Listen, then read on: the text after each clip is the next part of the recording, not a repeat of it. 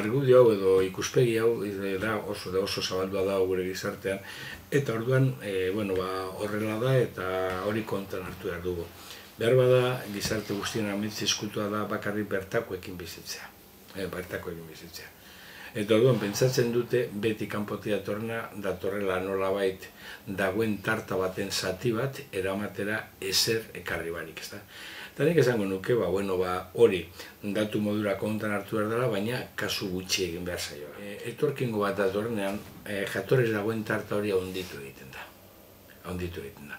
Eta zoritxarrez gainera, tarta ahonditu horretatik, ez dute eramaten gehienetan legokien zatitxoa. Beti okin behar dira kontutan, jende gaukin ditzaken uste ustelak, e, zaera zarrak hori izaten du, eta usteak erdi ustela dira, uste ustel horiek edo usteetatik zati ustel hori kontan hartu behar du, zorren arabera jokatuko du jendeak.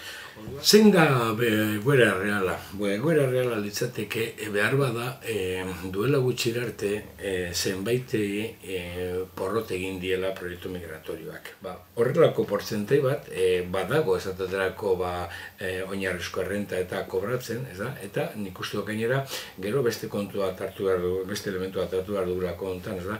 Ba, hor behar bada zenbait e, batzuk ere kronifikatu egin dira. Eta gero nik uste sakoneko erreflexio bat, eta nik uste hau e, nolabait planteatzen hasi da, ez da? Eta ni txaro pentsunago, nik uste dut e, ezin dugula errenten erabilara gaizto batengatik errenten sistema deslegitimatu.